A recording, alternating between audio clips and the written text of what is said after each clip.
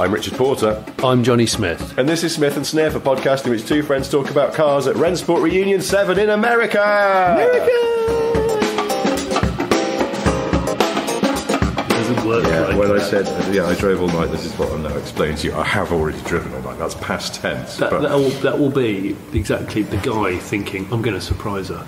I'm going to be really romantic. I know I'm not romantic enough. I'm going to drive all night. I'm just going to turn up, and she'll be there, and she'll just she'll, she'll she'll open her arms, and it will be wonderful, and we'll just spend the whole night making love. And she'll go, no, I'm actually not here. I'm staying at my sister's Yeah, I. I forgot to tell you. I've got to go to Warwick on business. So, um, anyway, um, welcome to America. America. we're, we're on American soil. American soil.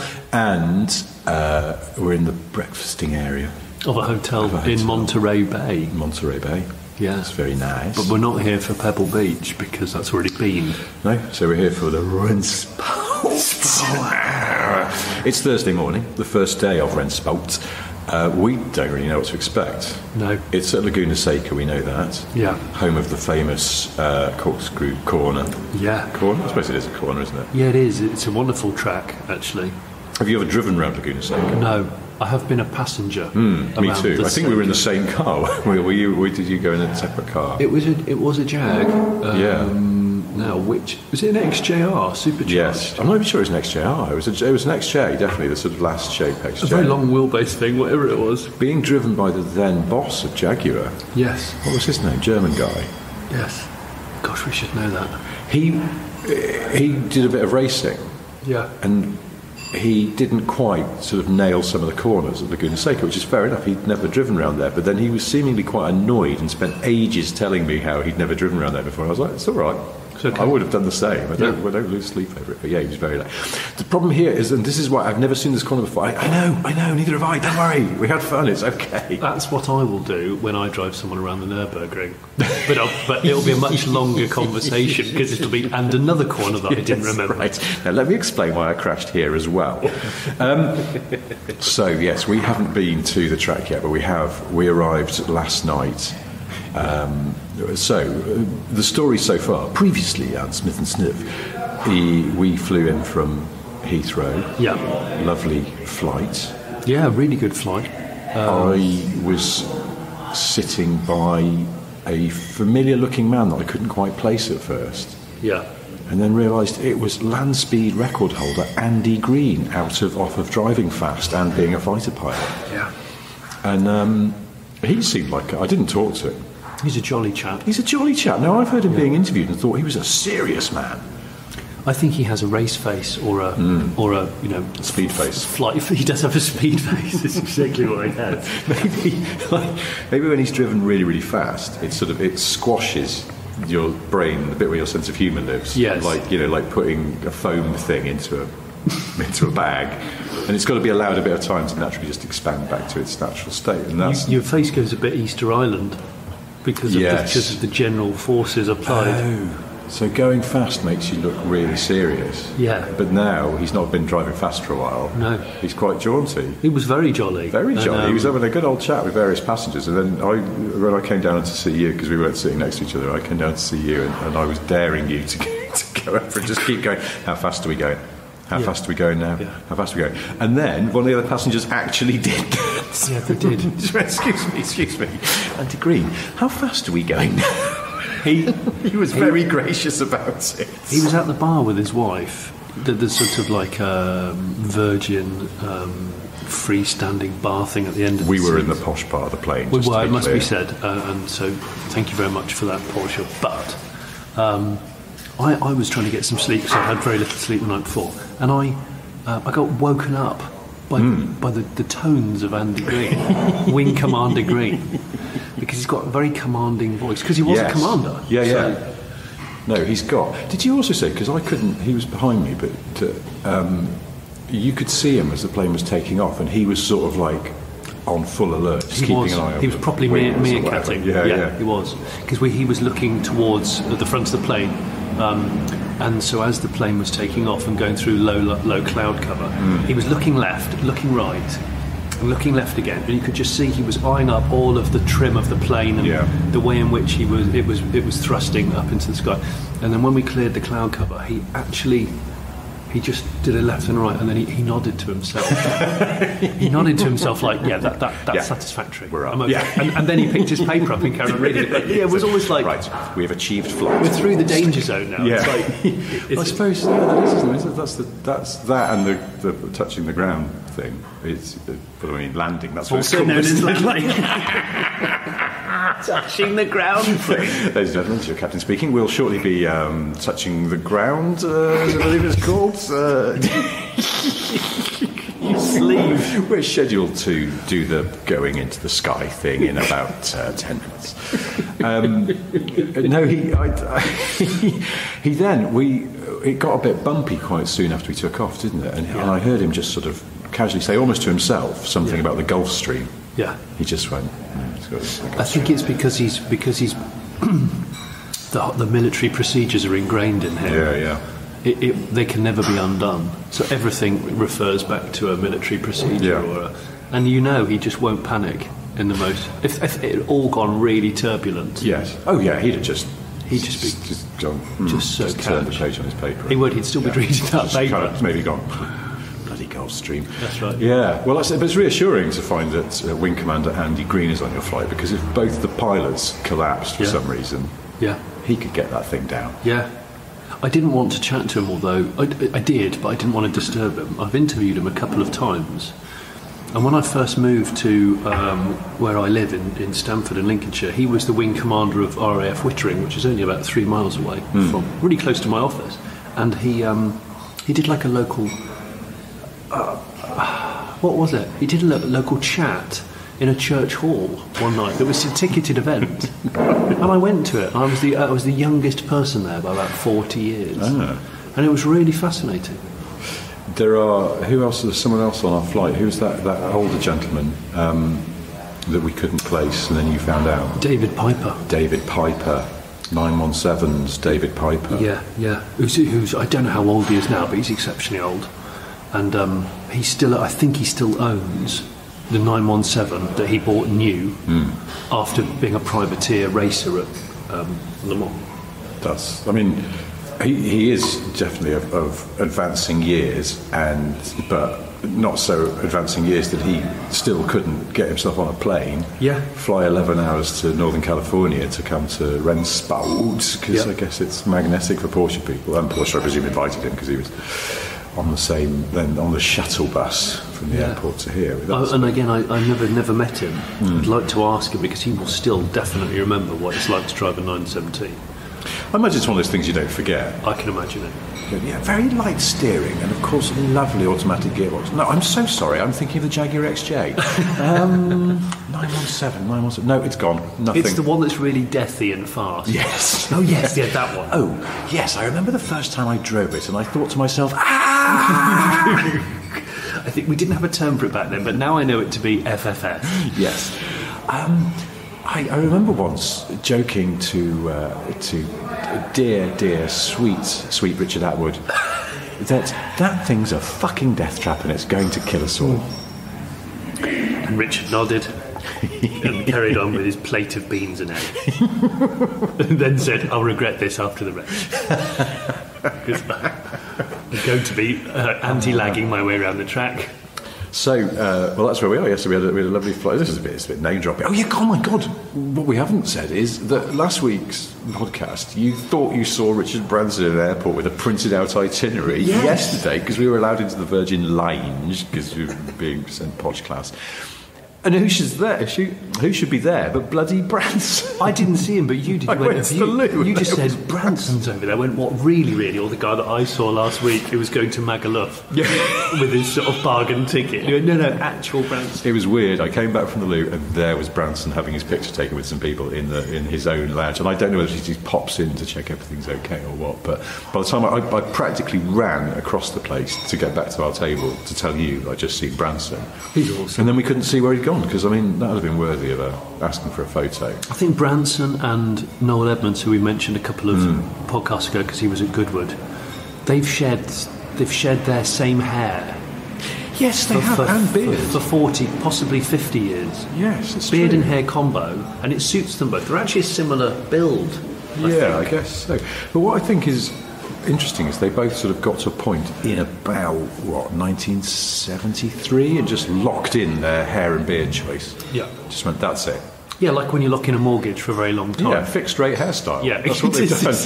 I think you know, Knowles is. Maybe they've both gone a bit shaggier at times, but only a little bit, just to sort Yeah. of you know show that they're willing to make Yeah. subtle changes. They can deviate suit- ever so slightly. Yeah, but not too much. No. Because have you ever seen a picture of Noel Edmonds without his beard? I bet he looks awful. He looks weird, but your eye kind of fills in the beard.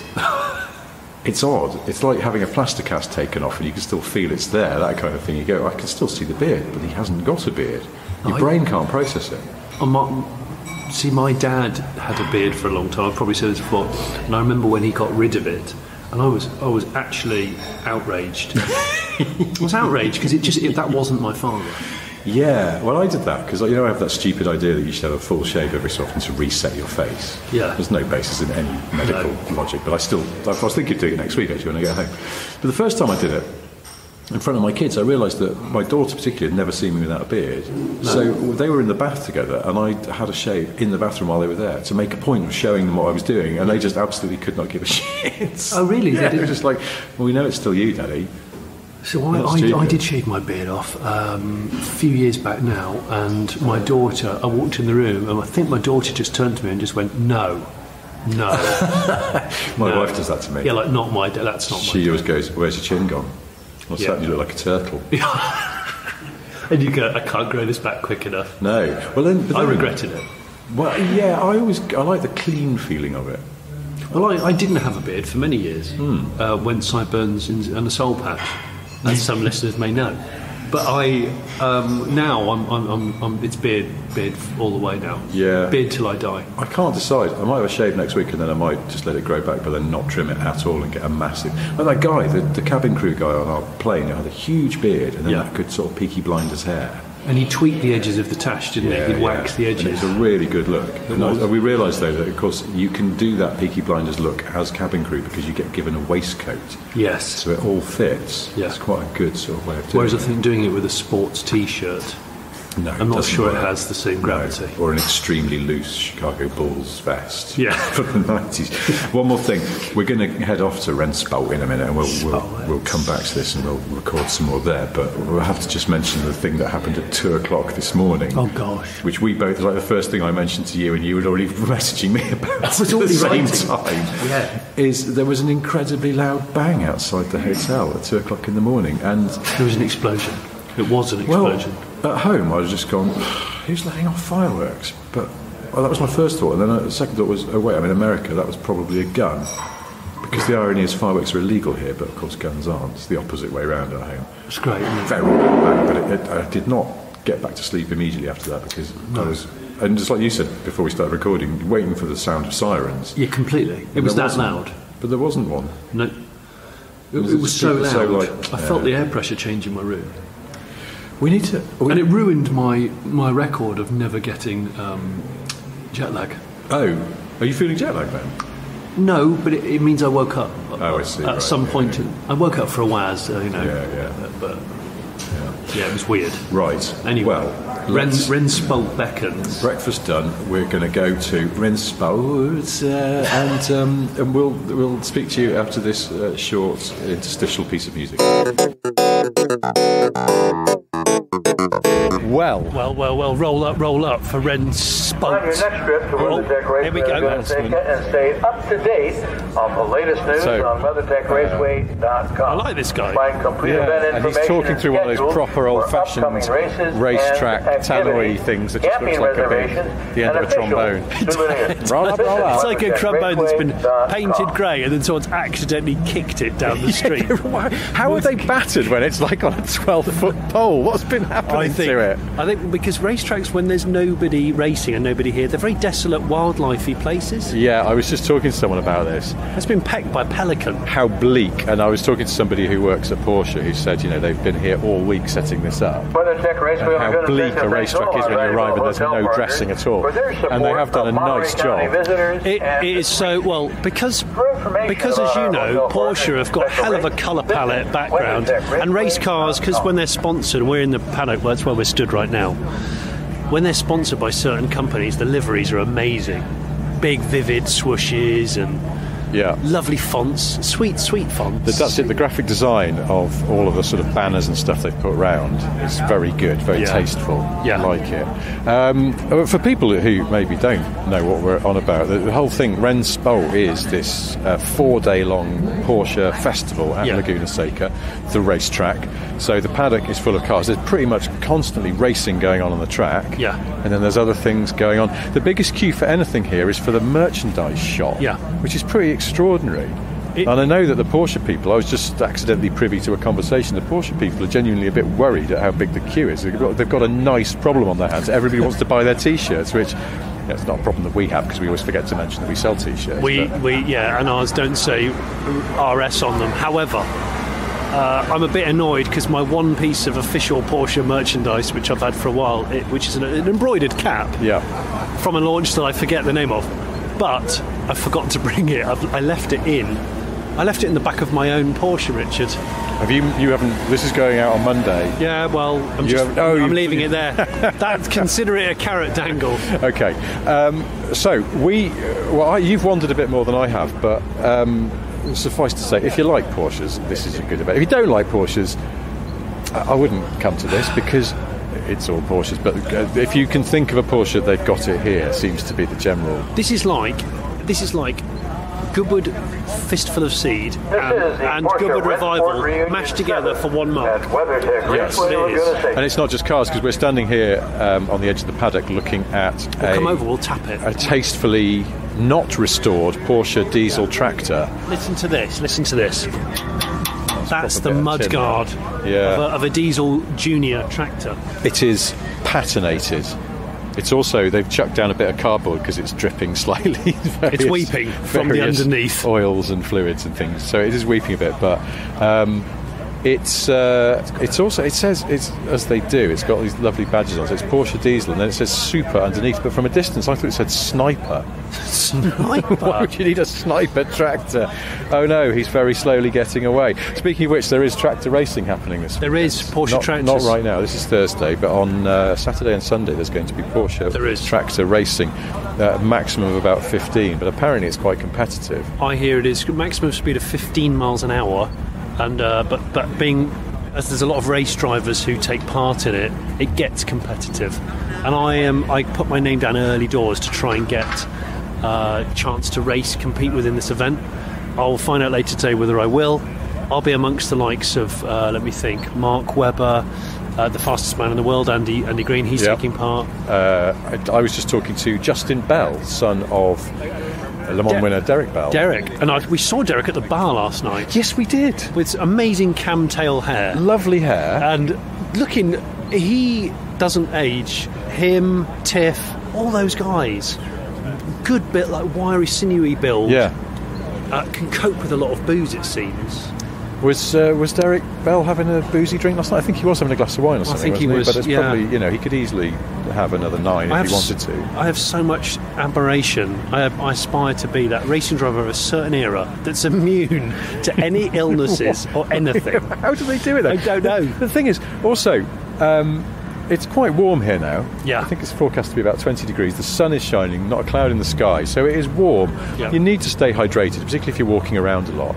I wonder, can we keep an eye on Derek Bell and see if any fluid passes his lips all day, or if he is true TIFF spec? Is he? I was going to say I don't know if he's an, an old school non-hydrator or not. I, I have I have to have a look. It could just be all day drinks nothing, Yeah. get, gets to the bar in the evening, and then lets it loose. Immediately has a really hearty Syrah. A full-bodied Rioja. That's all the hydration I need, thank you. Um, funnily enough, I was thinking, talking to Riara of Derek Bell, I'm just looking, there's a 924, I think that's a turbo over there. Look, it's got the flared wheel Let's go, let's arches. go have a gander. Let's go and have a Oh, gander. there's so much stuff here, honestly, it's Yeah. ridiculous. And you've already had, I had a look at this car. So we've come to the sort of a no-through road part of the paddock because it's a bit quieter for the mic because there's a lot of revving sixes and revving. flat eights about. And um, where we are, yeah, there's a couple of 924 track cars. Yeah. which I think in track guys with the wider arches and things look proper. This is. Do you know what this is? Also, this lineup here is a good example of what is appealing about this. Is that there, there's no snobbery within the Porsche world because there are two 924s here, which you think they'd be sort of looked down upon. Oh, this is only for. This is only for 911s, but it's not. And there's a 996 next to them, probably Yeah. the sort of least revered 911 at the moment. But that's still welcome. Everything's welcome. There's And we went past some 914s. 986 Boxsters, which Yes. looked ace. Looked really good. A race trim. Yeah. And when they're dropped, they look mega. They look hard. Yeah, with yeah, the, with they the clip do. on hardtop, some of them as well. What's going on here? There's a 356 at the end here. Right, this is just- 356 here, Or is it okay. 356? We've got to say. Yeah, yeah. Actually, I, I spoke to the I spoke to the guy that's re- rejuvenated it, and he, he did refer to it as a 356. And um, but this car is a it's 19, it is a 1956 356, bit of a tongue twister. Hmm. it's totally bodily, totally unrestored. It's just been it's had its drivetrain rebuilt. But it was bought new by a chap called William R. French, who I didn't know the name of until I was reading this lovely information plaque next to the car. It turns out he was one of the guys uh, involved in the moon landing, one of the one of the aerospace engineers. Uh, he's an engineer. And he bought it new, Yeah. in, immediately raced it, debumpered Whoa! Look at this. at the weekends, and So- then and it's and it and he took it off the road, but it was a decade old when the when the the whole ra- moon race thing ramped up. Yeah. And he basically didn't have the time to dick around Yeah. on the track in a three five six. And it got pulled out of, a, um, of, of the resting place of where he'd parked it pretty much about um, about five years ago, and it's now on the road with its. I, I will put a picture up for our for our Patreons because I took a couple of shots of it. There's still a sort of outline of where the front had had um, like a, ra- a racy kind of Yeah, either a decal. white patch or a yellow patch. yeah. It look, could have been a race incident, crash Maybe. damage. I don't know. Yeah, some scuffage there as well. But, But- it says um, that when William was a young California aerospace engineer in the 1950s, at the age of 25, he bought this car at a time when racing your sports car was the deal. Wow, Imagine being able to buy this when you were 25. So cool. So, and I was reading the, the engine block had a crack in it. It's a magnesium case on these. They had to have Oh. it specially repaired, which Yeah. is not easy to do. No. And if you go around to the back end, you'll see the engine's mint. But look, look go and have a look at the sun visors, Rich. God, Sun Go and have a visors. What are the sun visors? Let's have a look around here. Sun visors are. Charles, I gotta go. They, are they like Bakelite? They're sun warped. Yeah, they're, so- they're, are they- they're, they're uh, they're not meant to be that shape. No, they're Oh, completely they're all sort of from the, from yeah, the they sun. are. Wow, It's such, it's, bit of Californian sunshine. and next to it, look at what colour? Because I'm a bit colourblind. What is that magenta? Or is I it not? don't know if it's magenta. It's a purple. We're looking at a purple 911, an early 70s Yeah. or late 60s one. Let's have a look. bit It's of got a, it is a 72 911S. Oh, it's Oh shit! It's for sale. oh no, Oh shit! no. It's matching numbers, correct transmission, fully restored in Italy, four kilometres since. Text this number if you're interested. Well, of course I'm interested. I just don't necessarily have the money that they're going to ask unless it's five grand, and I'm going to say that it's not because it's beautiful. But Can you imagine if it is five grand? It's just no. Everyone's too scared because I'm always too scared of. I don't know about. I'm, I can't be the only one listening to this who's too scared to inquire when a car just says offers or Yeah. or you know let me know if you're interested because like of course I'm interested, but I'm.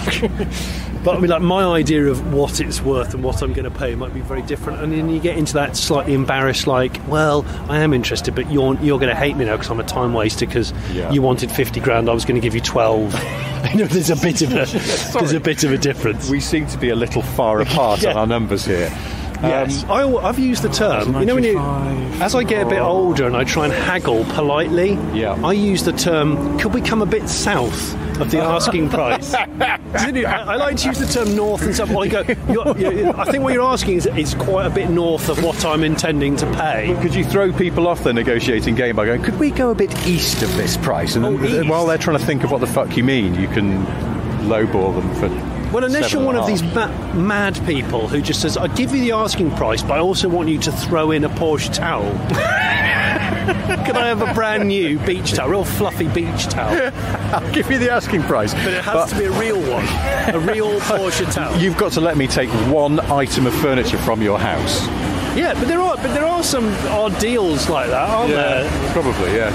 Now we're, we're the bit you can hear a car idling to our right, a race car. What is idling? This is the Tag Heuer display. I've had a while you were doing something else, Rich. Yeah. I I was in here nosing the first only I think car to enter form, Porsche to enter Formula One. Oh. It's in 1962. Go and have a look at like how much fuel is around the driver. Oh, is it a lot? I haven't looked at this. Um, Oh what, what is revving up? And another 6924 race car as well. Yes, pretty With the fixed lights under Perspex covers. Tight Is, is that idling? Is that a 935 idling? Uh, I actually can't tell. There's a lot of I think things. it's that one. Yeah, there, it's- 1979. 935. just looking at this Type 804, the uh, one of four cars Porsche built to compete in uh, F1 in the early 60s. Um, the only car, it says on this thing, I'm reading this now, only car completely designed and built by Porsche to win a Formula One race. Um, oh, I see. There is a lot going of get thrown out of it because I've never owned a Tag Heuer watch. It's not because I didn't want to, I just haven't. Well, again, because when they say offers, they don't mean six quid No, it's a shame. for Tag Heuer watches. Or, as I think purists, sometimes they just like to call them Hoyas.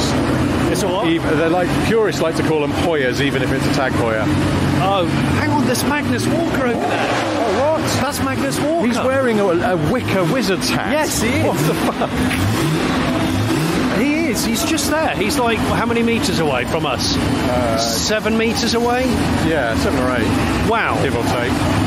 Um, I'm distracted. There's a 914 over there. I, I like 914s. And it's just, again, no snobbery. It's parked next to a uh, 911 uh, racing car and, and something else I can't see. But yeah, That's a six-cylinder as well. That 914. It's Oh, a 914.6? Yeah, it is because it's a competition car. ah, and, and just super casual. Uh, that is a. Um, is that a 906? Yes, uh, I think it is. It's either a 906 or a 904. Hang on, let's go and have a little look.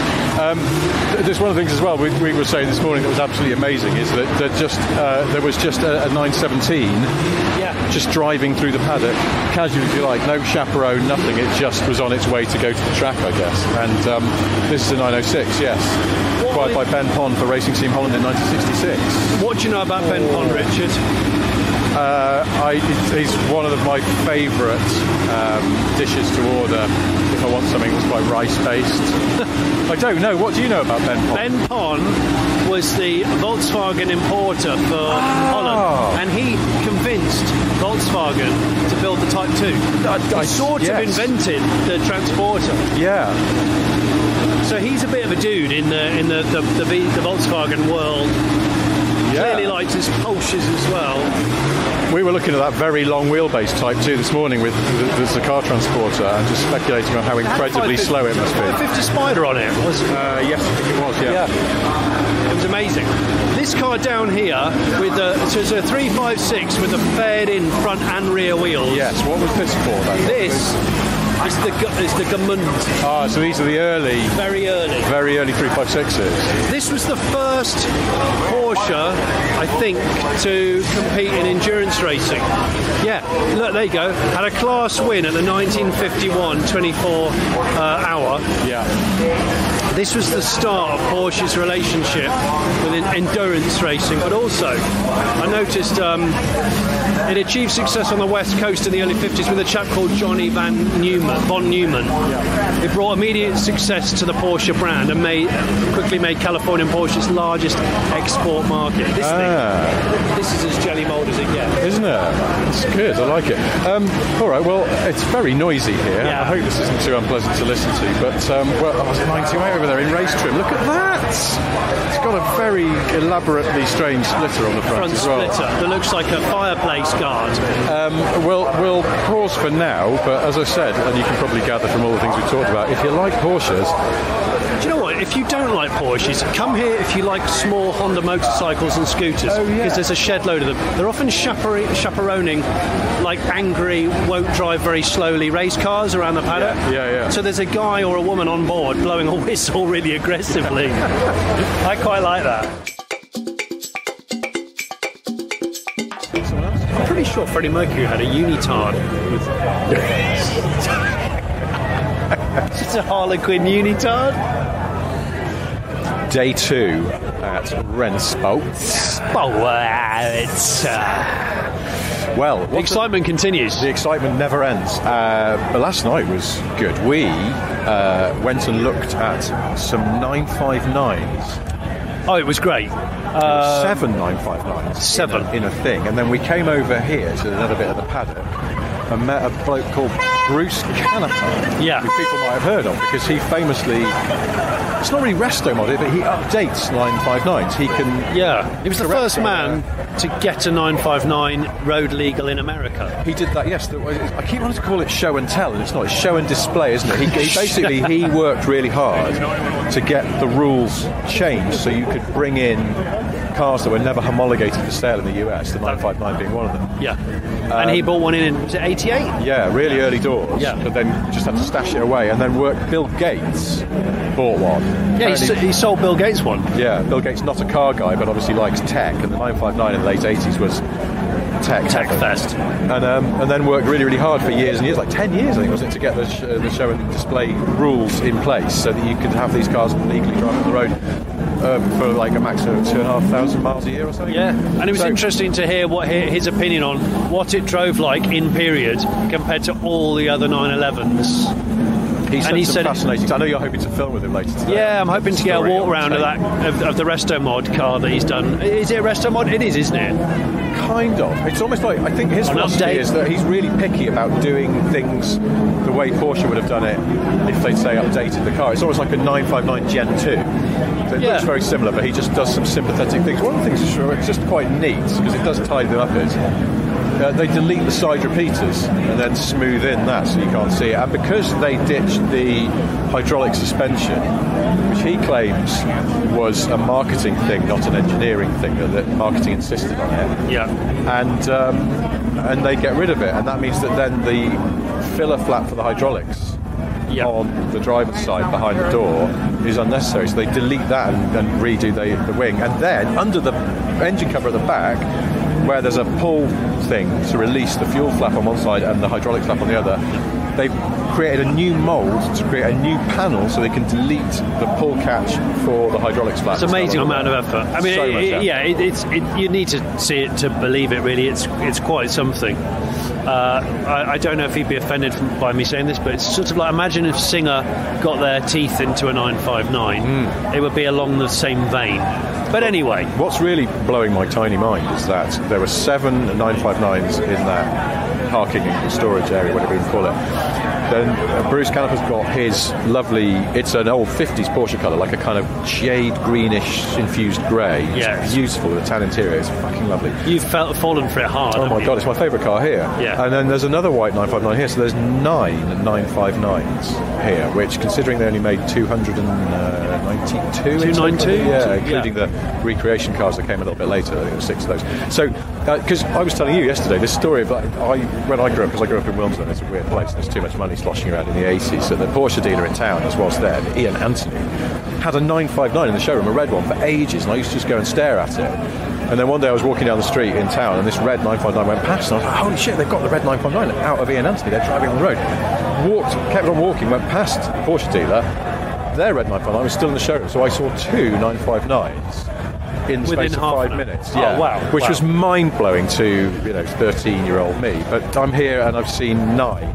I've still never seen a 959 on the street in the wild ever. No, well, I mean, just, just, No, to- just just have- he was he, Bruce Canepa was saying that, that a lot of his customers actually use them because they are usable. Yeah, So yeah, he did. He was that guy? Um, uh, the guy used to own um, one of the Lotus F1 teams, Gerard Lopez. Gerard Lopez, yeah, yeah. Who um, I've met once, and we had a good debate about whether his 205 GTI collection needed a cabrio in it. He was like, I- I met him "It's not but- complete without it." And I was like, "Yeah, but they're no good." And um, but he has got one of those, and apparently when he, he got it, he just went off and immediately like drove 600 miles in it. But I, that, that's so why he's a dude, right? He is a dude. He's, he's a proper car guy. So that was exciting. That was yesterday's excitement, just 959s, and I, I absolutely adore 959s for, for childhood reasons. But then also we went to the unveiling of what's it called? Of a car name? called the um, 911 GT3R Rennsport or the GT3RR. Yeah, well, uh, but then officially it's written with Rennsported lowercase r, so that it doesn't look like, I suppose, like a typo where they've hit, hit r twice by mistake. But I've seen oh. some places just writing it with a cap r. Either way, it's a slightly unwieldy name for a track only Track only, 77 off. Yeah. NA, not eligible for any race event, you know, like an FIA race event because it doesn't need to comply, hmm. and it's a one-seater, Oh yeah. which is very unpractical for a 911. And then But- it's got no mirrors. It's got so it's got cameras for mirrors, which is I don't know why that's an advantage or not, but anyway, that's what it's got. And Yeah, I don't know. It's um, it's got uh, it's it's not it's bodily. It doesn't look very different to a cup car. No. apart from the rear wing. That's has it got a longer wheelbase, or have they all got that longer wheelbase? now? I think it hasn't got a different wheelbase. Um, it certainly doesn't look as wild as that Moby Dick car that they brought out not that long ago. Somebody Um, told me that Moby Dick, that sort of modern take on the 935, started off as a project where they said to some of their designers, or one of their designers, I think, went, just we want to do something to tribute, a tribute to Moby Dick, um, and they meant him to just draw up a livery. And he got a bit giddy and drew a whole new set of panels for it, and everyone went, "Oh shit, that's good. That's really we good." better make it then." But it wasn't the plan originally, so uh, I guess this time round they've tried to keep it a bit more sensible. Although, the, uh, what's his name, Grant Larson, the designer, who was there Ah. last night giving a speech yeah, Grant Larson. he said that, that they were sort of allowed totally off the hook, but it, I mean, it, it doesn't look as wild as the as the Moby Dick. No, it's got the old aggressive cutouts in the wider wheel arches. There's carbon on the sort of bonnet area, which is deeply recessed. Um, as you just said, cameras instead of mirrors and all that. Deeply recessed. deeply recessed. Um, but yeah, it's it's got this also almost a yoke-like steering wheel Oh yeah. uh, because I guess it is for track use only. Uh, track what? Sorry. Track, oh, sorry, track. I am sorry, everybody, listeners. Uh, track work. Yes. Uh, this is strictly a track work machine. Yes. It is optimised for track. But obviously, you spell work W E R K. Track because- work. and you would do that because of the fascination. Yes, it's yeah. So it's a, it's an interesting car. By the time you listen to this, it's prob- they've probably all been sold. Yeah. Um, sorry about that. and one, one seat so you can't share the experience with anybody else. Uh, I, I mean, I'm looking up to the top of the hill at the Corkscrew, which is that lovely, incredible kind of almost roller coaster part of the Laguna Seca track. Yeah. And um, well, when we were up there on day one, getting covered mouthfuls of dust, we.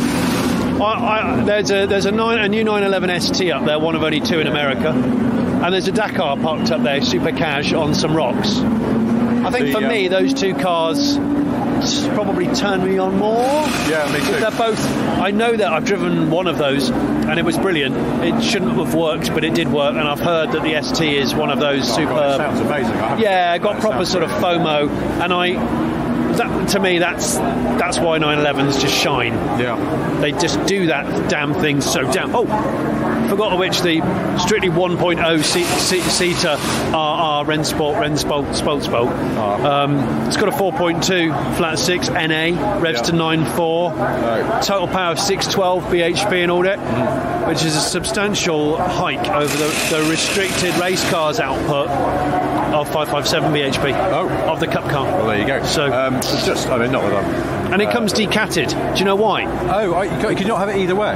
You can order it with cats if you want, Yeah. but it comes with them pre-stolen. Oh, I see. So, So- it's, it's Prius minicab in London. Yeah, yeah, yeah. The, the, Yeah. The, the guys will crawl underneath it at a show, hoping to kind of zip zip zip them off with the DeWalt with the DeWalt little grinder and go, oh shit, already, someone's already been here. Oh. Um, yeah, no, I mean, not that I'm biased, but I think that those, those whatever you call rebuilt resto modded 959s uh, are doing 850 horsepower. Yeah, Um, but then also, that, that 959, not to keep harping on about it, it does make me a little bit sad because it's about $1.6 million to have that done, plus the cost of a 959, yeah, and which is what, a million plus, And million and a half. There's not that many 959s. I mean, I know that Singer are vacuuming up all of the 964 Yeah. donor cars, and they're, you know, finding a standard 964 is rare these Yeah, days. yeah. But find a bit of Ranulph now coming Yeah. in. I think find another 959. It's not like there's loads out there. Except here, whereas we've established there's nine. All right, well, um, let's go for a little wander about, and uh, I don't know, we'll, we'll resume this in a bit. I know we don't normally have guests on Smith and Sniff, it's sort of a rule, but we're going to make an exception because we're overseas. Um, so we're joined by a couple of people that we know a bit. In your own time, please, who are you and what do you do? I couldn't hear anything that you said because there are a bunch of race cars. And this is why we don't have guests, because we're shit at it. I said, Who are you and what do you do? I'm Elana Scherr. I'm a senior features editor at Car and Driver, and um, apparently I'm quite deaf, quite hard of hearing. And our second inverted commas guest. Sir, your name and your occupation, please. Uh, hi, I'm Jonathan Gitlin, and I write about cars for Ars Technica. It's Ars Technica rather than Ars Technica, which is what I. Why is it Ars Technica? So it was started by a couple of grad students at Harvard about 22 years ago, and they were in divinity school doing like history of the religion, and so they were into the Roman Empire and Greek, Greeks and Romans, and it means the art of technology in Latin. Although actually, apparently, there's some small syntax error in there, but basically it means the art of technology. But imagine if we had a less complicated name. Well, imagine that. I'm realising that going around here and introducing the, the people and go and they go, "What's your podcast called?" And go, "It's called Smith and Sniff," and they without fail they go, "What?" Um, listen, guys, look, we have a situation. Elana's got to go in five minutes. Right, well. So she needs to talk now. Elana, I, the one thing I wanted you to reprise was the story you told us yesterday. We were chatting yesterday about uh, you're originally, or you are from Los Angeles, you live in Los Angeles, but you have been to other places. Jonny asked you once, twice, the second time to apologise. But then uh, we asked what the most LA thing you ever seen was, and then you remembered the most New York thing you ever seen, and that was my favourite story that I heard yesterday. And I, if you would like to tell it again, I would love that. I like that this is going to be my one, my one and only appearance on my very favorite podcast. Um, No, because you're a very interesting automotive woman. And I met you because of Mopar's it's true. roadkill related stuff and your Yeah. Opel GT, which you Yeah, we both have some some real garbage muscle cars. We're we're deeply bonded. Yeah. All right, I will tell you the story, and then I have to go and attend a roundtable about Porsches because that's where we are. What, what do you mean? I thought I'm here for Renault Lagunas. I, uh, I, so I did manage at this event entirely devoted to Porsche to end up talking to somebody earlier in the pits who owns um, Old Yeller, which is a Buick powered sports car hot rod um, from the from the 50s 60s. And so I spent all of yesterday walking around with a Buick pamphlet. But um, okay, I will tell you the story. It's awesome. It's, Uh, there's quite a few of them. They're great. Um, Here's the story because because Richard's looking at me with these big, sweet eyes and saying, "Please tell Sweet, the story. Sweet, sweet eye. Please tell the story, Elana." Okay, uh, I was in New York. Uh, I went to art school. I was in. I was uh, briefly a, a uh, gallery artist, and I was in New York because a friend of mine had an opening, and we were at a after party in a loft. And it was everything that you imagine about being at a art party in a loft in New York City. Was there a lot of exposed brick? It was it was nothing but exposed brick and cockroaches. That was just all it was. And um, and someone this is just like in one of those overheard conversations. Uh, someone said, uh, you know, it would really be a better party if we had some cocaine. And the host of this party said, "Oh sure, yeah, call my dealer. Uh, it's in the Rolodex under D for drugs."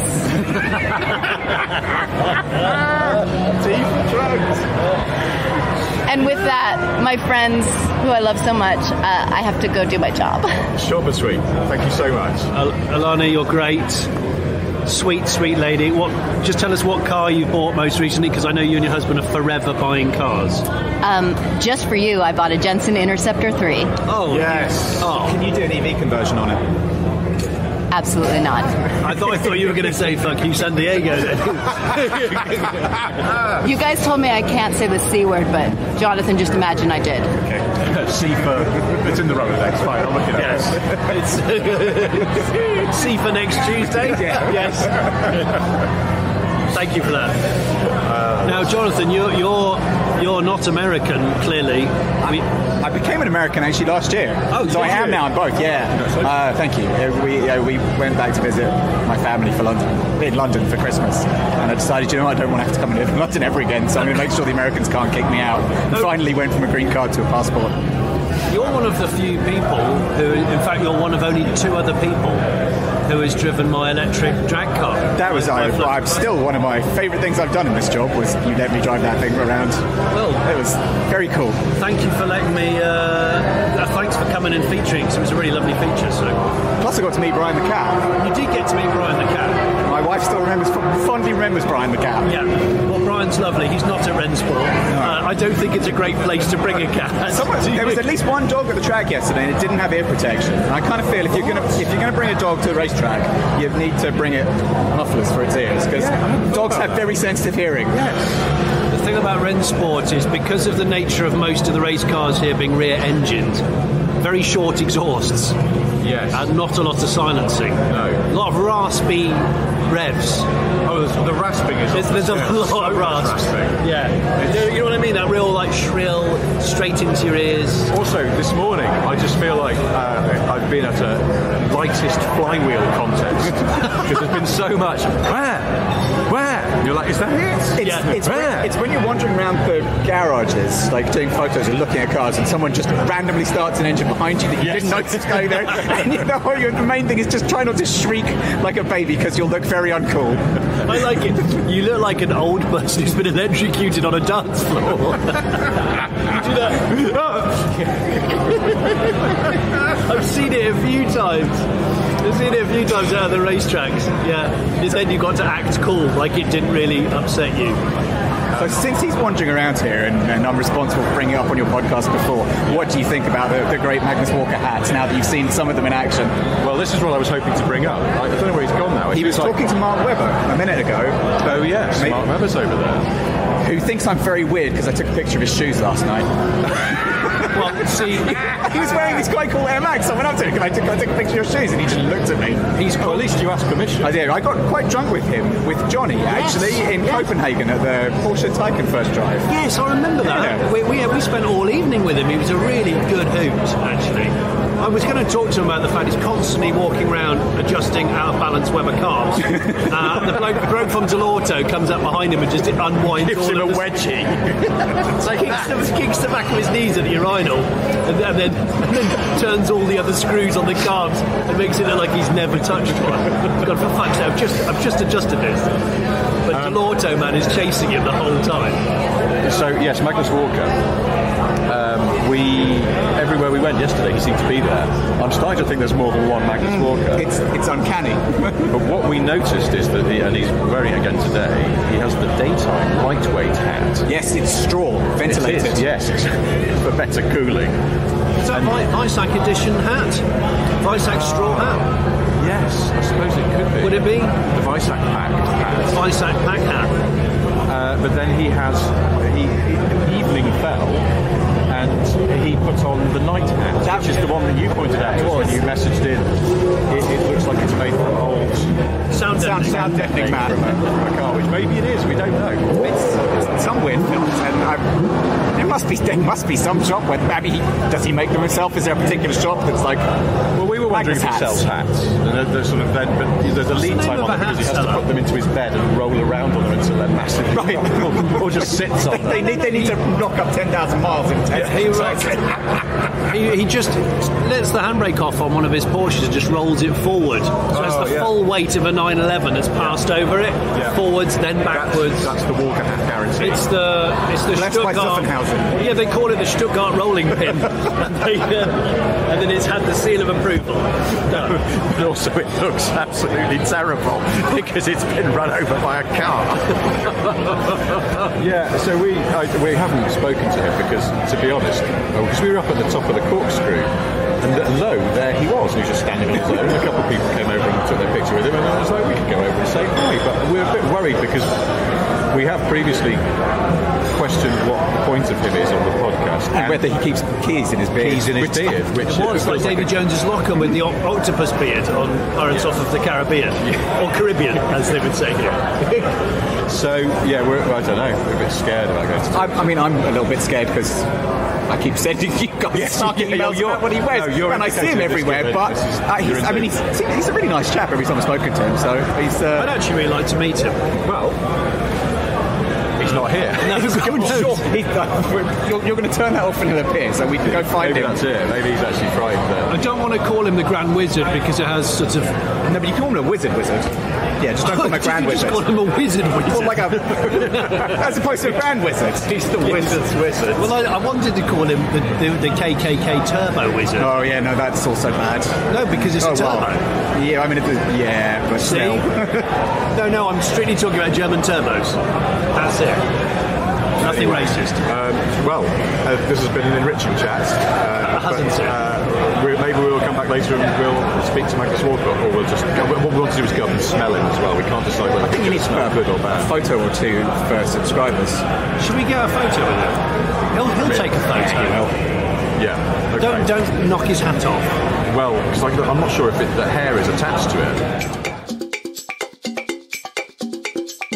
Well, since we've waived our no guests rule, let's carry that on. We're Yes. joined by another special guest. Sir, state your name and what you do. I am Jonny Lieberman. Uh, I write about cars and I do a lot of podcasting and I sometimes do videos.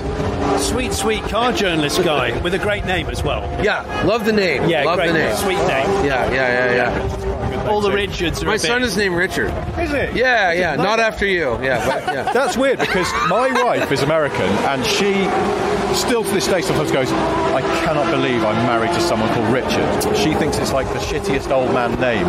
because I guess it fell out of favour in the US because of Oh, Dick Nixon. Watergate, yes. yeah, Tricky well, Dicky. yeah, that was that. I, I thought that was that was a plus. Uh, my my wife's uh, step grand, grandfather that she was fond of was named uh, Richard, and then my uh, my favorite band has a song uh, called Richard. So yeah, Killdozer has a great song called Richard. Richard. Yeah, There we yeah. go. You see. Yeah, yeah, Well, great of course, song. there's been many. It's about, it's about an evil banker who fo- forecloses on deadbeat farmers oh, nice. in the in the tri-state area I around. love songs about evil bankers that foreclose yeah, yeah, on deadbeat It's really good. It's re- it's been a, a- great song. Yeah. been a huge amount of quality Johnny themed songs over the years, though. Yes. Johnny, well, I wouldn't say come home. quality. There'd be a huge amount. Uh, but as Stalin said, you know, quantity has a quality all its own. So I think Johnny's a popular name for, for a half decent song. Uh, anyway, I- we're not here to talk about his name. we're not. Well, what yeah, are we here to talk well, about? We're not here to talk about cars. Corvettes. 74 Yes, We are- exactly. I want to know about the Nissan Altima. Yeah.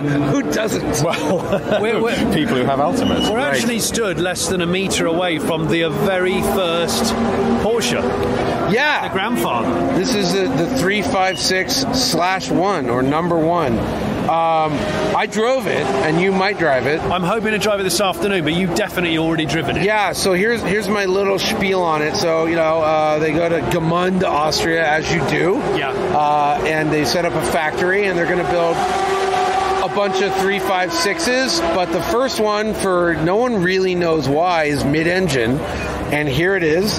And it, it they build it. It's a prototype, and then small new company they sell it to a Swiss guy who, who's into racing, who immediately modifies it uh, changes some body work and stuff, and he wants to do kind of, you know, the 550 Spider comes out, and he wants that. Uh, and then he watched The Fast and the Furious and got, and got heavily influenced Yes. by it. As- Had to as- just make some The changes. fast and also it's a from my side, Furious from my side. Yes. And um, And, and Fast and Furious and the Sporting Fascination. fascination. the kinematics. Uh, anyways, we, we really could do this all day. Uh, but so so, uh, and then in 1957, um, the guy who founded uh, Christophorus magazine, his name was like von Frankenberg. He was a PR guy at Porsche, and he trades the Swiss guy a, uh, a Speedster, 356 Speedster. Gets this back, and it sort of just sits around rotting for a long time. No one's really sure what to do with it. Yeah. Do we restore it? Do we do this? 2018, Rennsport 6, they say, all right, here's what we do. We honor the uh, modifications. We'll get it running. It'll look nice. We build an exact replica based on the blueprints. That's now in the Petersen Museum. But this this car, they pulled it out, and yeah, and it's running on uh, synthetic gasoline. Is it? Yeah, it's on e-fuels. Yeah, so Which, of course, they're investing heavily in. yeah, they're going crazy on it. But I, and I had a long talk, and you you might meet them. Um, man's name is Karl Dums, but he's not dumb. He's very smart. He uh, he's he's their e-fuel guy, and he basically said like if you get a microscope and you look at gasoline and synthetic gasoline, a chemist could not tell the hydrofluorocarbons apart. They're identical. Really? And, yeah. all it is is you're capturing CO2 that's already in the atmosphere and, and burning it and releasing it versus digging stuff up that's underground and releasing it. So the synthetic fuel is circular in terms of carbon dioxide. Fossil fuels are net positive in a bad way, meaning you get more of it.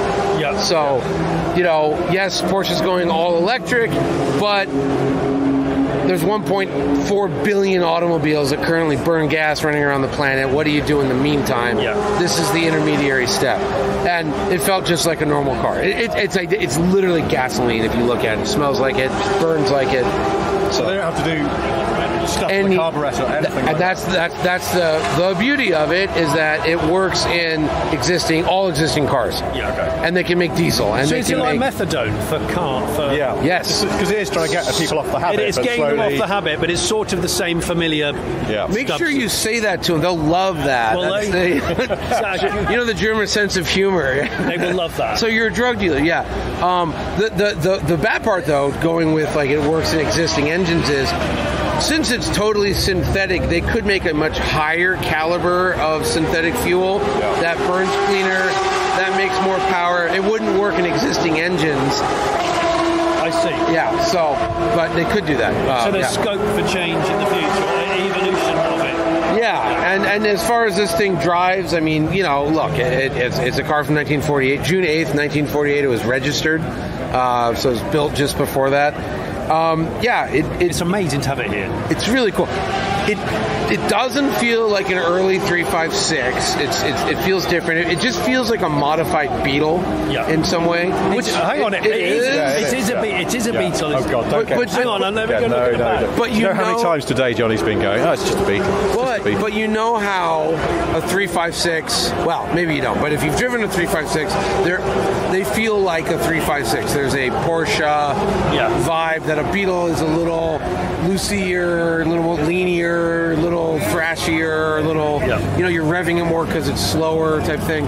Um, and this feels more like that as opposed to, uh, you know, like a 356. Now, first American we've talked to who says 356, not 356. isn't it 356? Well, I, we don't know. Oh, I don't know We either. always say 356. We spent yesterday talking to Bruce Canapes. Oh, yeah, yeah, yeah. And he kept saying 959. I like how you call him canapé. I, I- I can't I, remember I think it's it's- no. canapa, but yeah, yeah, yeah. yeah. No, because canapé. he has a world-leading collection Oh, he of sure very does. small Yeah. foods on trays at a drinks reception. Um, I yeah, say thought- Porsche, so I have a leg up on most Americans, Yeah. but I don't know. I'd say 356, 911, You're, um, 356. But you're quite Euro spec American, aren't you? Like you, you. I mean, I, I- you know, I, I have a passport. Do you have clear indicators and stuff like that? Yeah. More No, Euro. no, no, no, Your no. bumpers are quite neatly integrated. I, I own an Alfa Romeo, so maybe, you know, maybe, yeah. Have you ever owned a Porsche? I own a Porsche. Oh, you have? Ah, yeah, 914.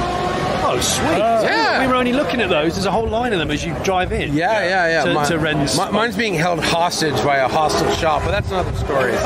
but yeah. I don't think that's another story. I think that's the story. no, no, I, I don't want to say much more. Oh, I, would like the gentleman to finish it. He might listen to English podcasts. I don't know. Should we just say, whoever you are, Yeah. you know who you are, Yeah. okay? Yeah. We'll find you, and we're going to bring Johnny's 914 back. Better than when it went in.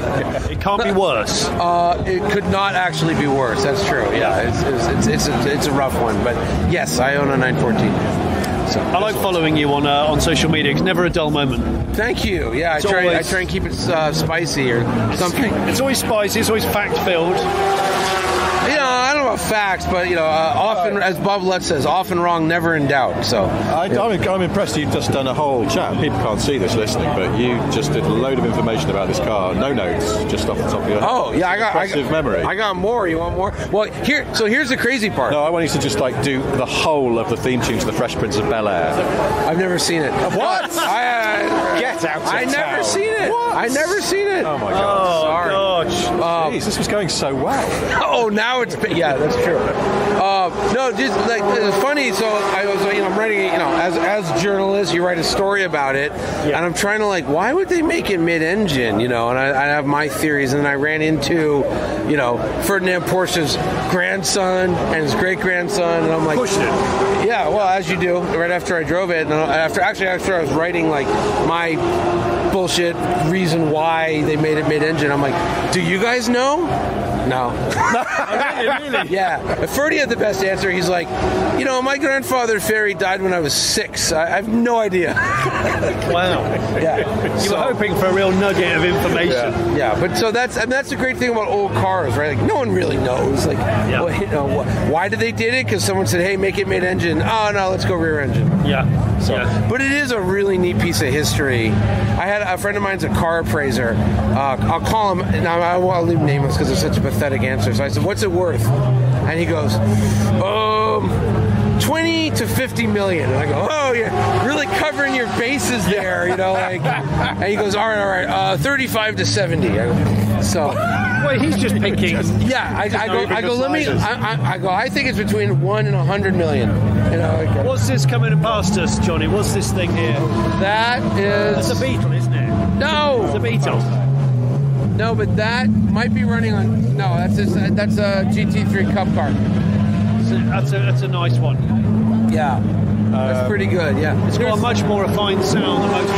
There's uh, there's a bunch of uh, let's call them taxis. The new GT3 RS, uh, funny colors that are giving between races. They're giving Yeah. rides, and they got these e-fuel stickers on them. Yeah. So all the cars that Porsche, the company, is putting on the track is filled with e-fuel. Can't tell the difference. So kind of kind of neat. I don't know. I, I new don't tech. maybe they could flavour it. So as it goes by, you get you know they could. barbecue, You, you could do all that. Yeah. yeah, yeah. Sausages. sausages. Yeah, you know the white run- sausage. run the diesels on chips. There is a lack of sausage on top of the corkscrew. If you go up there, they have they sell sausages. Yes, We saw that. saw Yeah, I didn't buy any, but but No. yeah.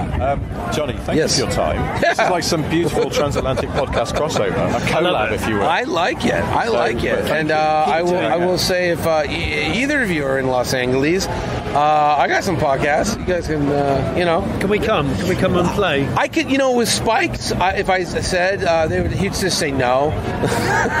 Listen, Yeah. Listen, Spike. Yeah. If you know what's good for you, Oh wait, wait! Before I go, though, what, what's the butcher board idea? What's our sandwich board? Oh. This was quite good. Uh, this is the first thing Johnny said to I me. just- I- Hello, I think. uh, it's it's guerrilla PR, really. Yeah.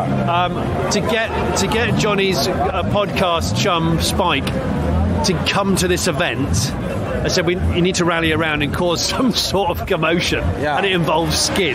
Yeah. It But what was it? It was naked on I- my knees I- in the Tag Heuer tent. Yeah, drop Oh, to your knees don't forget the sandwich board. With, with the sandwich, naked with the sandwich board. with a yeah. sandwich board, but on, in body paint drawn Yes. on it, so we'd have some sort of hashtag like call Spike. Yeah, yeah, Or yeah. ma- Make That- Spike that- come and That will that that's the one thing that'll work. You know. Yeah, We- yeah. Or just like Spike. He's doing what? We I'm tried. on my way. We tried everything else. Money, nah. You know. You're still down on your knees. Yes. Yeah, it's like a, pe- a performance arts piece. Yeah, of You you- can see Johnny's balloon knot, and he's got my name written on a sandwich board. Fuck! I'm in the car. Go, go, go. You know, it was a long pandemic. We're all doing the best we can. Yeah. We're all trying. Well, Richard's convinced that, um, that, that Magnus Walker's turned up in a Camry because he's just bored of Porsches now. Yeah. He's like, oh, No, for fuck goodness yeah. Well, you know, I mean, I don't even know this. Like, he, he honestly has a lot of non Porsches these Yeah, I days. see. In fact, uh, I, so the have you guys driven the Ferrari 296? No, I No. haven't. All right, I think it's the most brilliant car ever made. So I'm driving it up to Angeles Crest like we do, you know, on Fridays. And as I pull in, there's Magnus standing there, and I'm like, "Hey, Magnus, enough with the fucking Porsches, Ferrari." He's like, "Yeah, man, I have a Ferrari." Was like, "Okay, okay, yeah." I think So- in, in terms of looks and spec, it, it, it seems to be one of their best products. I just, you know, it's like, uh, you know, uh, you build a better mousetrap, like build a better GT2 RS. They, they did it. It's just unbelievable. And everyone, you know, they, they gather around, they go, Do you think it would be better without the hybrid? And all my answer was, Oh, I know you've never driven one. Because if you had, that's you would all you'd be thinking is, you know, how do I get four hundred thousand dollars? That you have no other thoughts because it's that good. I know Listen, you if get $400,000. Get that sandwich board on. yeah, yeah, yeah. If we talk about Ferraris anymore at this, this strictly Porsche event, we're going to get down. clobbered. Yeah, yeah, yeah. We are going to get hurt. good, good. All right. All right, boys. I wouldn't trust myself to drive to the shops. He does the, the I rig. don't trust you to drive to shops. Or wearing tasselled loafers. No, moccasin loafer. Well, moccasins a different story. What are you lot doing here? Day three of Rents Boats, and we've got more guests. We've gone giddy for guests. Haven't we? You, sir, who are you and what do you do? Hi, my name's Tom Ford, um, and I'm a professional loafer. Oh, shit. What shoe? you're, a dri- you're a driving shoe. I'm a professional tasseled moccasin of a human being. and, uh, Also joining us, representing Team America, you, sir, name and occupation. Uh, name is Mike Musto, and professional muscle car driver enthusiast, I guess, however you'd want to frame it. And you, you're here at this Porsche show by accident, then? No, I, I, I own one. Oh, yeah. We got a lift We- we got a this lift this morning. morning. Yeah. I know. You've got Did Alzheimer's. in a uh, your 996 C4S. Yeah, You have to have one car that works. Mike's not telling you there's a muscle car show like in the next field, and he just took the he just took the wrong entrance and went. It's all- These look weird. They must be European. Where's the motor? No, it's all 928s with LS swaps. Which is fine. And they've all been pushed out of this area.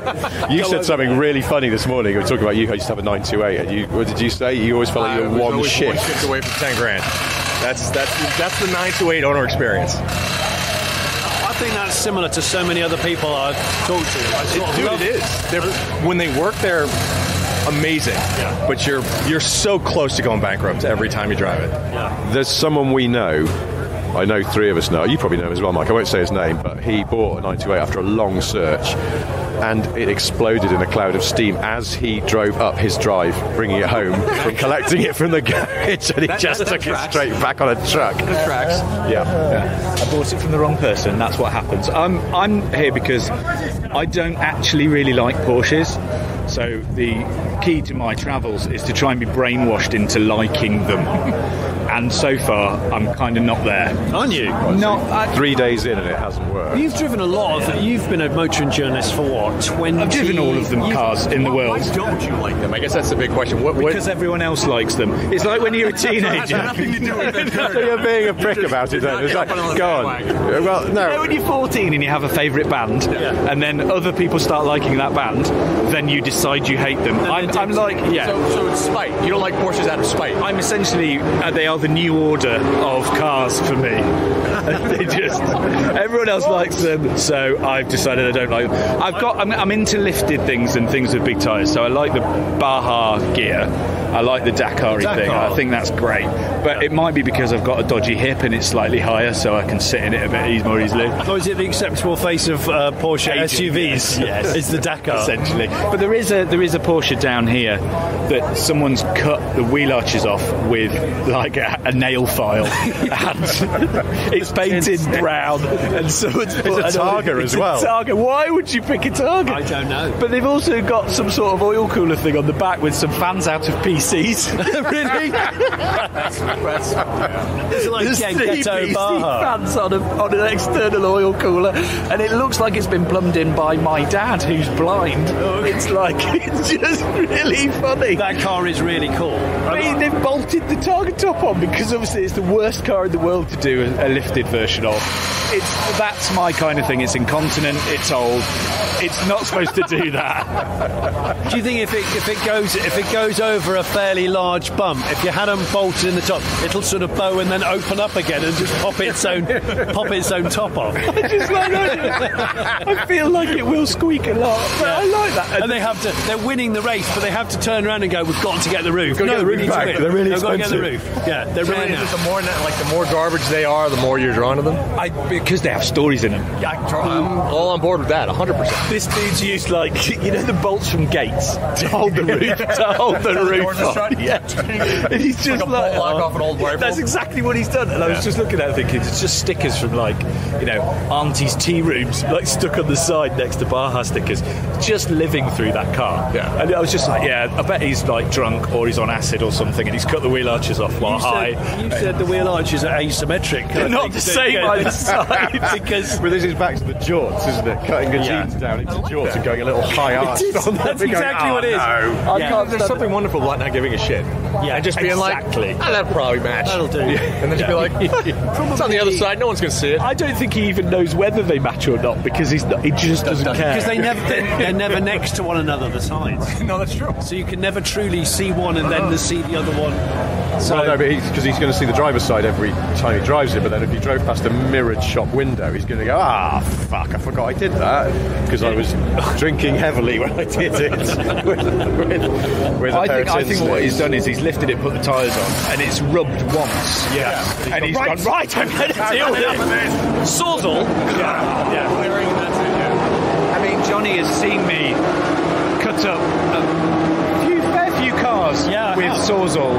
I once made a.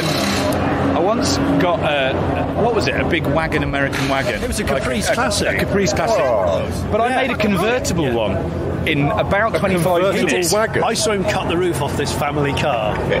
And that was really, wobbly. It was so skin cutty and jagged. Honestly, no one wanted to even go near it. It was so sharp. I've still got Tetanus in a scars. car. Oh, it's horrible. Is that for blood, sweat, and gears?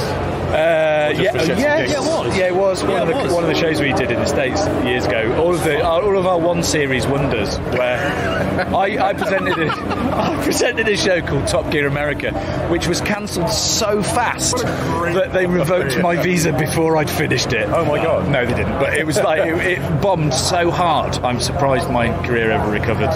Um, I've become an anti-person in the USA now. So They let you back in, so it's not all. Yes, because Have you they can't, seen- they can't identify who I am. Have you seen Magnus Walker yet? Yeah, he's a variety of hats. Yes, well, he's got a day hat and a night hat, we think. Yeah. Ah, so Yeah. there's like the full Gandalf. Yeah. Yeah. And then there's the sorting hat. Yes. The what? I don't know. It's a Sorting sorting hat. It's a Harry Potter Uh, thing.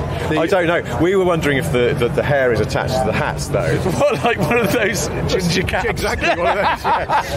like, we're a, not fe- sure. like a festival hat. I don't know. Like a Scottish Yeah. Bobby hat with the hair on it. But I think that maybe also that every day he has to sit on the night hat for long enough to make it look suitably crumpled before he can put it on. Yeah, it's artfully rumpled, isn't it? He, but he's a human being is artfully rumpled.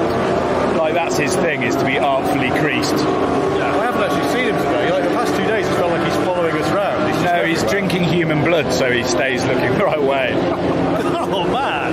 No, I love Magnus. He's just got a new house, and he's he's got a very good eye for interior design. Has he? He's absolutely brilliant at it. Like he's amazing at it, genuinely. All of his places that I've seen have been absolutely incredible. But he's a, he was a fashion designer. Yes, yeah, yeah. Well, he was a fashion designer before he ever got into cars, right? yeah. yeah. That kind of stemmed his whole outlaw thing, right? Yeah. Yeah, I think so. Because he used to cut up stuff and make it more outlaw, which is exactly what he does with cars. Yeah, well, So it's like, But not with houses. and not with hats. well, no, he does because he just Does he lower his house? I think uh, he's lifted his hat. he put the wrong lights on it and one mismatched Well, he door. did slide his house into a truck. Did you ever see that video that he did? What was that? With the reporter in the Porsche, and he slid sideways into a truck. No. you you've never seen that? What? I have seen that. So anyway, we've got one day left work. You've got one day to uh, to be won over that Porsches are not new order, who are. You're wrong on that as well, but anyway, welcome. What did he just say? I've got an idea. I don't know. I feel like I'm. I'm Just I, I, I think I've got some kind of fever. I'm feeling very strange. I'm going to see New Order in two weeks' time in Sheffield. What, just to no, not in enjoy them? I'm going to, but I'm going to Magnus deliberately not the wrong enjoy way. them. I'm going to look at the Back. I'm going to stand with my back to those fuckers, and I'm not tapping my feet. Hang on, so following on from if things are popular, I'm not interested. If you turn up and there's other people in the gig, you're like, fuck this, I'm going. Not going to do it. It's not Peter Hook either. It's it's actual New Order. order. Well, is this is this why you were actually delighted that Top Gear US got cancelled because that meant it was not popular and therefore better? That's Yeah, why I think, you, I oh, think it's a classic now. I've achieved my aim yeah. now. It's like you know, you do a special edition. I keep doing special edition series of TV, so that they're, they're like super limited, so that eventually, when they are appreciated in 50 years' time, they'll be worth a lot more money to the people that own the licenses. I- if you wanted to turn up at this show in a Porsche because you, 'cause you had to, what, what, I, could, I think I know what. That's a yeah, what, what, what, what would you turn up in and go? I don't, I don't feel, and I'm not annoyed with myself. I'm okay with this. One of the Russell built uh, Baja 959 things that's basically a trophy truck with a 911 wide arch 911 body on it, or one of the stu- not stupid but like nicely done off-road Cayennes. Yeah. I, I just think they they look useful. Yeah. and um, they're really good off road because I've off roaded them quite a lot. Anything 911 shaped, I just feel like one of the crowd. Yeah. So, you know, but What about one They're to so nine to 924 Dakar? No one's done that. Well, I was thinking that a 94 it's been. It's, the states bouncing around. Oh, really? oh yeah, seriously. were they oh, like Baja cars or Dakar-y? They're more like Dakar. Like they're all jacked up. They're running like you know, 30 by 10 and a half and stuff like that. See, I like I like soft. I like soft. They're not going to be going fast enough to get hard, so it's fine. Like, You might get a slight tyre chirp if you revved it to 6,000. The skill level, if you get the bigger tyres, you don't have to be such a good driver. So I like really big tyres because then it's proportionally to how well you can drive the car. So anything low with s- s- wide, sticky tyres, I don't like. Yeah, I mean, I like all this stuff. Have you got a car of the show, you lot? Bloody hell, that's That's good. that green 959 over there. Yeah, Bruce. Bruce, Bruce. I just like it, Yeah. Bruce Canapes. Yeah. Bruce Canapes. And his, his trays of small nibbly food. Yeah, yeah. Bruce Canapé's got 22 cars here, and he he's been um, he's been lending them to Porsche because they're so significant. And I was like, I want to be rich enough to lend my cars back to the manufacturer.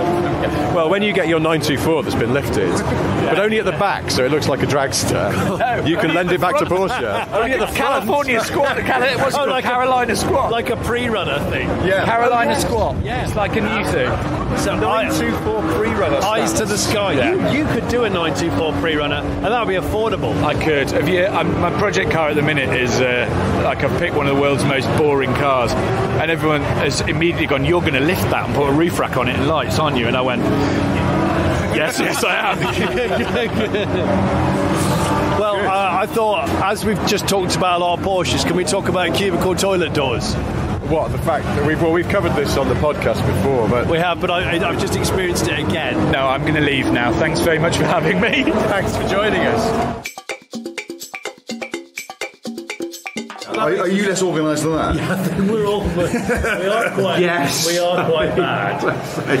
I will occasionally make notes on my phone if I see, like, if I'm driving in, and you, you observe a certain scenario and you go, that that's funny. I should I should mention that. And if you don't write it down immediately, you'll forget. So I sort of pull over and I just write a note, and, then, and that's about it. The Saturday night at Rennsport. We're, go- we're going to wrap this up, but before we do, we're joined by our final guest of the show. Yeah. It's only bloody Andrew Frankel out of, off of the intercooler. Off of the intercooler. yeah.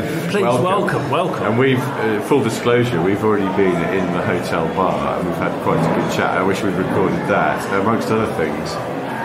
The qualities of the Naked Gun films, and also the worst hire car you've ever driven. And I was, I thought, I thought I shouldn't bring this up because we were just talking as we started rolling the, the machine that you prepare more for your podcast, I think, than we do because you have topics, and actually, worst hire car would be quite a good topic.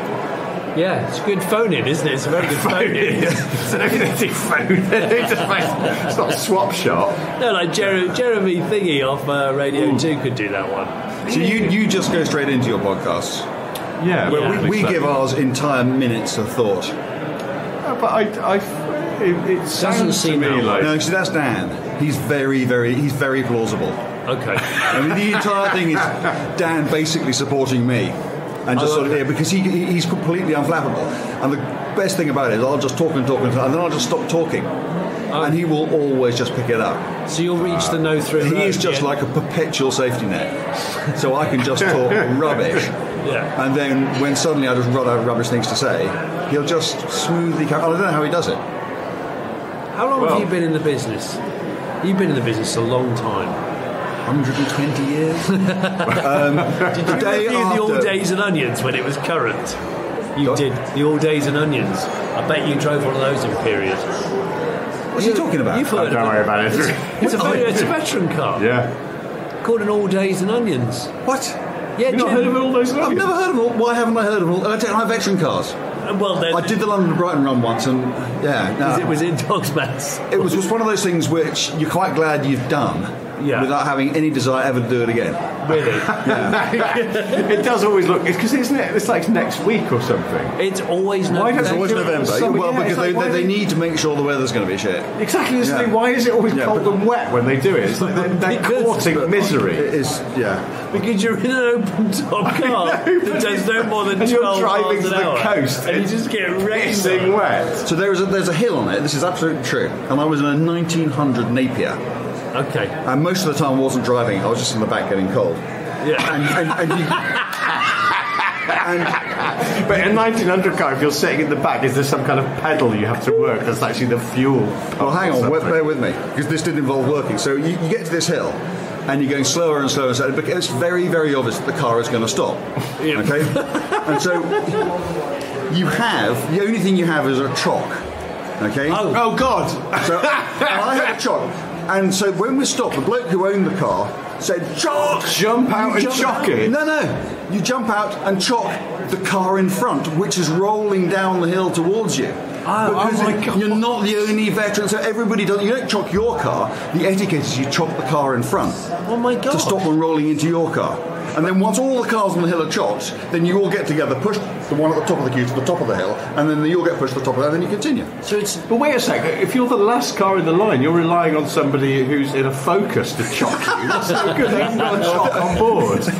I think probably maybe you're on the flat and you chock. I don't, I don't know how it works. I'd kind of lost. Um, But how do they the get to live by going again? I don't understand. Well, you get pushed to the top of the hill, and then Oh, you, you get start. pushed? Yeah, yeah, yeah. Yeah, everybody pushes all the other cars to the top of the hill. So not like a race car would- that we've seen uh, today, where you you know they push them to start them to save the clutch. Yeah, yeah, yeah, yeah. But the car's not even trying. You just you No, basically no, they, shut the they, car you, off. you've given up at that stage. Yeah, Oh, the car can't do it. Fucking hell. Yeah. Whose idea was the London to Brighton? It's an awful idea. It's, I mean, it's the fact that they do it in November just for the misery of it.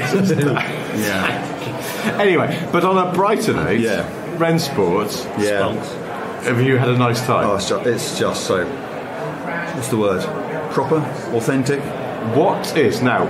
It would be very easy to go. What's what's the best Porsche you've seen over the course of the weekend? But I'm going to ask you, what's the best non-Porsche you've seen over the course of the weekend?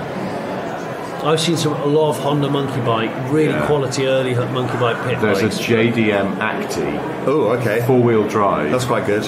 uh, that's being used as a pit car. I don't think I've seen anything that's, that's not a not a Porsche. There's Oh. not many. And also, we parked. We got a lift in uh, this morning with Mike Musto, and uh, we had to park sort of out over the other side of the track, and then walk through, and we saw a couple of Ford Flexes, didn't we? Do you know Oh, Ford I love a Yeah. flex. Love a flex. And then Mike said, I Have you driven the Flex? No, I actually haven't driven Have a you? flex. No. "Well, I, but Mike, because we were a bit like, is it any good?" And he went, "Well, the So later one had quick. a, that three and a half turbo V6, Yeah. the EcoBoost, which is in the F150. now, Yeah. Yeah. He said it's Quite great. rapid. Fast as shit. Well, you could chip it, and then it's like, Yeah. He, he went. It's a sub five second 0 to sixty car.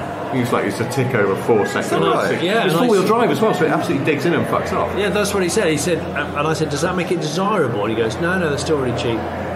Still Well, really he also? He said, I can't remember how he described the way it goes from 0 to sixty. He used a very, very American way He, of it was, describing he, it. yeah, he's a New Yorker and a great turn of phrase. I think he said he gets out of the hole or something. yes, he does. gets out of the hole in, yeah, in yeah. four and a Yeah. bit. No, which, never had the pleasure. well, Well, Oh, I'm just trying to think of the. you've driven loads of really, like, unobtainium Porsches. I have. Been a lucky boy. You have, Yeah. because I've because I've read or seen you do it. Yeah. So tell me about a pinch me Porsche moment. 917, have you driven all those?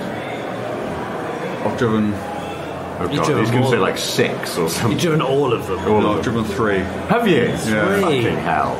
Yeah, I've You driven, swine. I've driven. Richard Attwood had one. He was the first person when I was editing Motorsport in about no about 25 years ago.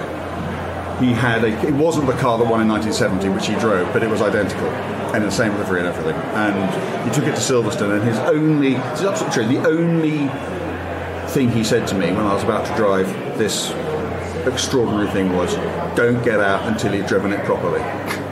Really? Yeah, and I saw him at the Festival of Speed this year, and I was reminding him of this, and he said, "Yeah, but you never did drive it properly, did you?" Oh wow! Because he kept on saying, "Go on, get, have you driven it properly?" I said, "Well, I think I've." Now get back. I'll watch you. Know, get back. And I went round. I went. Far, I drove it as fast as I could, and he wasn't happy because I wasn't driving it fast enough. But you were terrified, and you were borrowed because you were borrowed. I was kind of terrified. Um, just from the idea, the entire idea of driving a 917, it's you know it's inherently, but actually the driving experience of the car was nicely sorted and it was it was fine. It was just very very fast. Did it feel like you were driving in a hammock though? Because there's sort of like Yeah, it does a bit. Yeah. Does, or, no, well, actually, not with that one because the only way I could get in that one was to take the seat out. Out. Out. Yeah. So I sat on the deck with some sort of foam padding around me. It was the only way I could drive it. Bloody Um, yeah, but but the other ones, the open ones, the 917 I've driven um, both of them. Um, yeah, they're a bit like that. Bloody hell. Have you driven a 959? Yes. Damn it! Yeah, he's properly got. Oh God! He's got excited over. Have you did you see have you seen Bruce Canepa's 959 Yes, here? yes. Have you been around it? Oh Yeah. God! Has he talked- talked- has he talked to you about us it? Yes. Yeah. It's fucking pornography that car. Have you smelt it? Oh, I didn't Uh, You well, need I to open it. a door, stick Yes, your head in. it's- yeah, it smells oh gorgeous. my It smells god! gorgeous. But also, It's like that. You know, it's like that old Connolly hide smell you used to get Yes. in Ferraris 30 years ago. he made a point of telling us that the roof lining is suede, not Alcantara, suede, proper Yeah, suede. there's a lot of suede Dead in animal in there. But no, it's the it's the bit does look where because they put it onto passive suspension, so they delete the hydraulic filler flap on the driver's side, but then under the engine cover, there's a little uh, release for that flat. I've seen it. I wonder what So that they was. delete Yeah. that, They but they off. had to get a mould made to repress that panel without the without the release. They keep the one on the other side because that's the oil filler, isn't it? Is that But, right? Okay. Yeah, and the, the attempt it's mind. What is so great about it is it's, you, you, see, you look inside it. If this thing's got 850 horsepower. Yeah, yeah. It's got almost twice as much as it would have had, and you look inside it, and you'd never know. Yeah. It's No. so understated. And they don't do anything to the four-wheel drive system, transmission, because it was so over-engineered. He said the first thing I thought we we're going to have to go through that entire thing, and then the, the boys went and had a look at it, and they went, "No, it's fine." Because it was designed for Group B, and it was designed to have 800 horsepower. That is- So it was massively over-engineered. And he said they've never had a failure. But you, so you've driven a 959, you've driven as like stock, stock 959. I've driven a 961 as well. What the fuck? Get out. Get out of this podcast No, I've driven now. the 961 because there was only one. Yes. Because they, re, did they get caught fire? They They did caught, caught fire. It did catch fire in a fairly major way at the Moy in '87. There's, yeah, there's some on board. The, the, the bloke, Kees Nierop, Dutch driver, he was unlucky enough to have a camera in the car when he downshifted, possibly from fifth to second. Oh, shit. Possibly not. He is quite touchy on the subject. fifth, fifth. Um, and uh, yeah, and the car kind of um, swapped ends and went in and caught fire, and it's all there on YouTube for anyone who cares to go and watch it. Shit. Um, but they did rebuild it, and yeah, they did let me have a go. So it's basically it's got a 962 engine in it. It's not quite a 962 engine, but it's got that sort of 650 horsepower, but no downforce, tiny little wheelbase. It's it's a genuinely terrifying car to drive. I mean, unbelievable amounts of lag, and then suddenly it just goes. And the moment you get to a corner, it just wants to go straight on. So you just think, oh shit, I better kind of slow down a bit, and then it wants to spin. Yeah, Is that one of the very very busy. I think the source of the fire was actually an enormous Sony Handycam that ran VHSs that just got hot during the. Because if it was the 80s, was how else was the onboard cameras working? There's no mini cams, no GoPros. Um, you, uh, we should wrap this up soon, but you, uh, uh, Johnny's just bought his first Porsche. I didn't know that. I sold Yeah. my, Don't my get first excited. Porsche last year, but you. Well, hang on, no, I want to, I want to hear about Johnny's Porsche. yes, fair point. You, we all want to hear about Johnny's what have you Porsche. got? It's my, it's my, it's the cheapest Boxster in Britain. Yeah, Have a guess how much?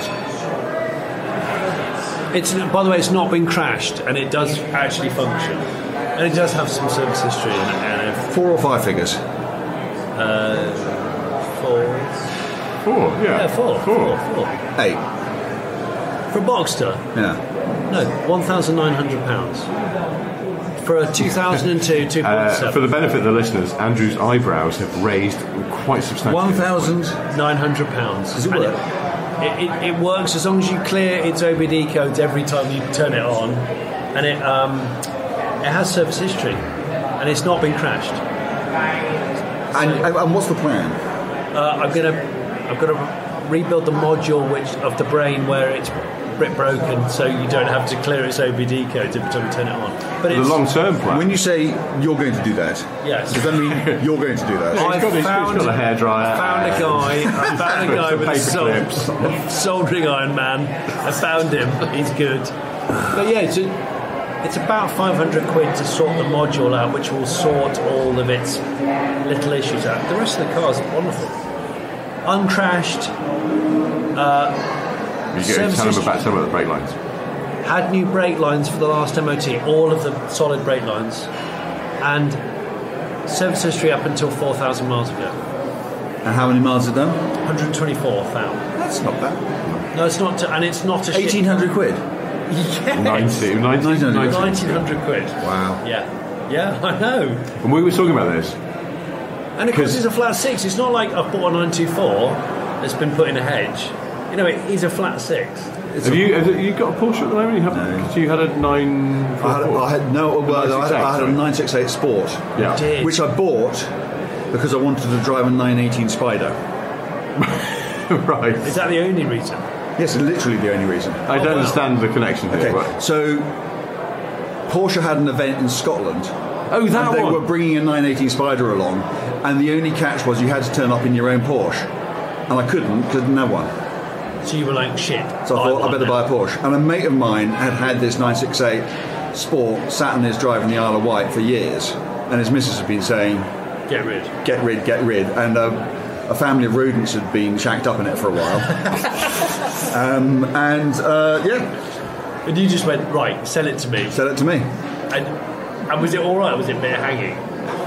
It was all right. It was. It, it, it, it didn't take much to turn it into a reasonably decent car, and I had it for four or five years. And like all the nice cars I've ever owned, its role in my life just became to make me feel guilty about not using it Right. because I was always in other stuff.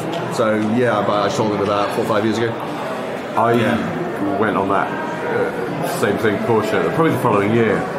Porsche said, Oh, you had a Porsche? Because I, I had a 997 for a bit. And they said, uh, come, come to Scotland, drive the North Coast 500 or bits of it. And, and I told Jonny, I was like, I've been invited on this thing to take my 997 to Scotland to, to drive around with some other journalists who've got Porsches. And he was like, Right, I'm coming on that. And I was like, We haven't got a Porsche. He I'm going to buy the cheapest box I did- I can. I- I did, it was Even a if while got ago. No front bumper on it. It's absolutely hanging. I'm going to do, and then uh, couldn't find one. couldn't now, find one finally, it comes to pass. Yeah. You've got a 1900 quid Boxster. I did at the time. I did email Porsche and say, "I've got a Beetle. That passes, doesn't it? That's a Porsche in inverted." For reference, Andrew, for the past three days, we've been wandering on the paddock and uh, John has been basically. Anything flat Basically, Any- Anything flat four. I've got. you know, sort of like um, RSK. Yes, Basically 550 Beetle. Spider, Yeah. sort of Beetle. Basically That's a Beetle. Beetle. It's a, yeah, okay. Yeah. Okay. So you need to do something epic in your Boxster, don't you? Yeah. You need to go on a pro- you need to go on an implausible journey in it, don't you? do you think so? Yeah, I you do. just- You loading me Yeah. up with, with tasks. This just reminded me, when I, speaking of cars that you felt guilty about not using, I, I had the same thing with my Rover 75, and I, I bought a Rover 75 because I had a couple of. What sort of Rover 75? Uh, it was a two and a half connoisseur. A connoisseur. Uh, because if you're a connoisseur of the Rover 75, you have to get the connoisseur. And, Two and a um, half connoisseur. But now I had this plan because the, I like the idea. The context was I had uh, two long termers from Evo back to back, which was uh, which were um, I had a Smart Roadster, and then what did I have after that? A Suzuki Swift Sport, maybe, and they're both quite hard riding cars. Yeah. No, wait, I think maybe it was I had a Fiesta ST, and I was like, I've had enough of shit ride quality. I'm going to go and buy the best ride quality I possibly can.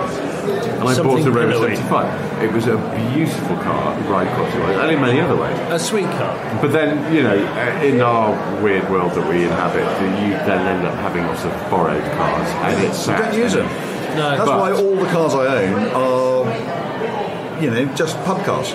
Yeah. 'Cause that's the only time you use them. Yeah. Well, I didn't even use that. I lived in London at the time as well, so it was like a lot of time I was getting the tube as well if I wasn't, you know. So, but but I started uh, dating my now wife. She at that point lived in Los Angeles, and Did I. she think you were a paedophile because she said you got a Rover 75? no, do you know what the thing is? When she then moved to the UK, and, and she never rode in that car, and she was like, well, that Well, fucking did she refuse? No, she just we just never used it because then I had another long termer and I had press cars and That's the. And, and she was like, "What is that car that you never?" I didn't, it was weird that she never been. But there was a point at which I suddenly thought, what I'm going to do is I'm going to have it shipped to New York and I'm going to drive across America to Los Angeles to visit her Yeah. in my Rover 75. It didn't happen, did it? No, it didn't happen. I I, there's the image of, I can't even think of the route that you have to do because it's a bit weird. I think the fastest route is actually a bit of a sort of Well, there's like a northern loop or a southern loop. isn't Yes, there? and, Yeah. the, and the Southern Loop is a kind of lazy U. Yeah, yeah. And I suddenly had this vision of sort of being in the middle of Texas in the summer and the road Get like in your overheating. connoisseur. Yeah, and going, uh, sorry, have you got a uh, head gasket for a KV6?